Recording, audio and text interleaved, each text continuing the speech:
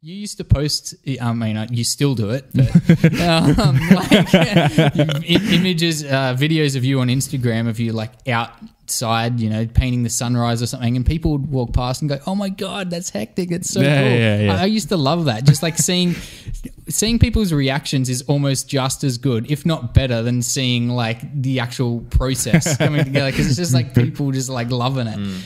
I love that. Yeah, it's pretty is that, funny. like what you're going for as well. I mean, you're doing What it for your, yourself, Oh, like like for other people. Yeah, like Yeah, well, art, admiration.